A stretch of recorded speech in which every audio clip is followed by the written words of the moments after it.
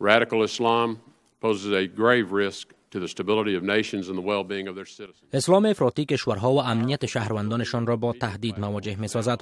رسانه های قوی دیجیتالی به داعش، القاعده و دیگر گروه های تروریستی فرصت می دهند تا نظریات زهراگین را منتشر کنند که برخلاف ارزش های امریکا و همه کسانی است که به زندگی انسان اهمیت قائل هستند.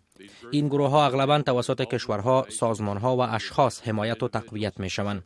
آنها با پیامدهای این کار که چیزی به جز یک عمل شیطانی نیست باید مواجه شوند.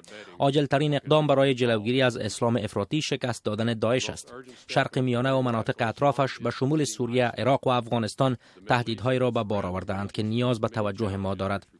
نابودی داعش به ما فرصت خواهد داد تا توجه خود را به دیگر گروه های تندرو اسلامی از جمله القاعده، اخوان المسلمین و عناصر مشخص در ایران بیشتر سازیم. اما پیروزی در میدان جنگ به دست نخواهد آمد. ما باید در جنگ افکار نیز برنده شویم. اگر وزیر خارجه شوم اطمینان حاصل خواهم کرد که وزارت خارجه در حمایت از آن در مسلمانان سراسر جهان تلاش کند که تندروی اسلامی را رد می کنند